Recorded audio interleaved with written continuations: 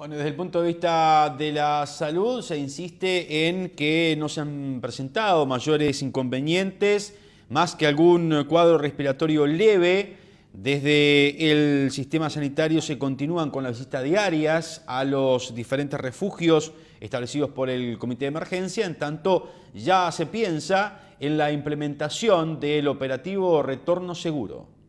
Hay que destacar que no hemos tenido situaciones eh, importantes de sanitarias, de cuestiones sanitarias, algunas infecciones respiratorias altas, que, evolucionan bien, rápidamente. No hemos tenido episodios de diarrea, que, también se puede generar cuando hay eh, tantas personas. Eso hay que destacar todo el trabajo que está haciendo el batallón y de promoción social con la alimentación, con el cuidado que hay que tener en la higiene de, de la preparación de alimentos.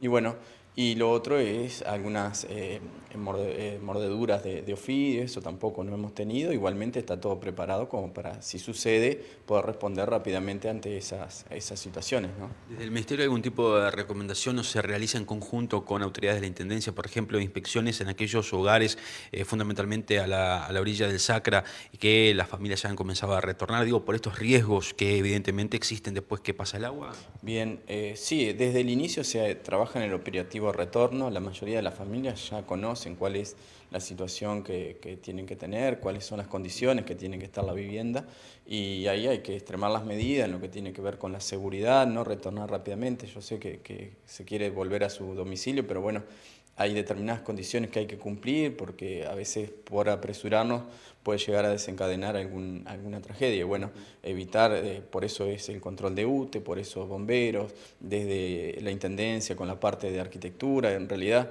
y bueno, y la parte de, salud y aspectos sanitarios que son importantes a la hora de, de retornar al domicilio. ¿no?